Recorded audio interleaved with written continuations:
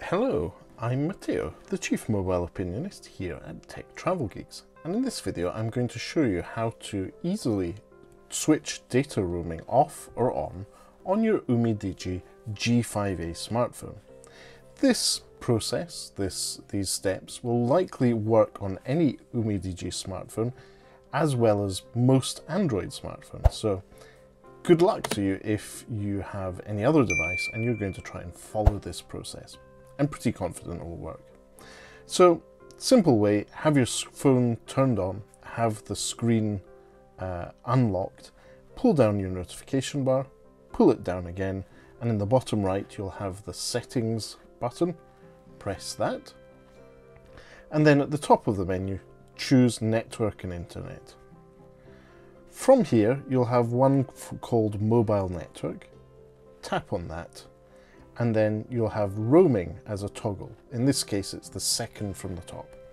Tap roaming, and that's it. Data roaming is off. Likewise, if you want to switch data roaming on, say you're traveling somewhere and you don't mind potentially paying the extra cost of roaming, pull down your notification bar, pull it down again, bottom right, settings button, network and internet, mobile network, and tap roaming. Now, interestingly, if you tap roaming in this scenario, you'll be asked if you want to allow data roaming, you may incur significant charges. Now, this is a, a warning. Make sure you're aware of what roaming or using your mobile phone in a different country or on a different network potentially could cost you. But if you click OK, that will be data roaming on, and that's how to quickly turn off or on data roaming on the UmiDigi G5A. Thanks for watching if you made it this far. If you have any questions or you'd like to know more, please do leave a comment uh, in the section below.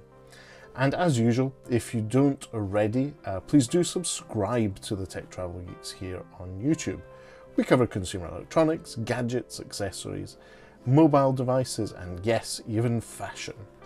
Um, essentially anything we think makes the travel experience better.